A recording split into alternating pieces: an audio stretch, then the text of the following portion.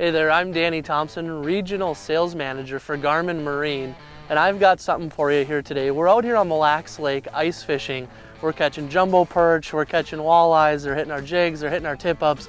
But one thing that I'm using to get out here and to kind of navigate myself is one of these new EchoMap SV units. You can see we've got it mounted here right on the front of the four-wheeler. I'm actually able to navigate myself right out here to the contour lines that we're looking for. It's got a crystal clear screen this is actually the nine inch unit and you can see they're extremely thin, extremely easy to use, and um, just all around great units. This EchoMap series is a great unit to put on your boat, your ATV, your Polaris Ranger, whatever you happen to have when you're out on the water. These things definitely are, are a great unit.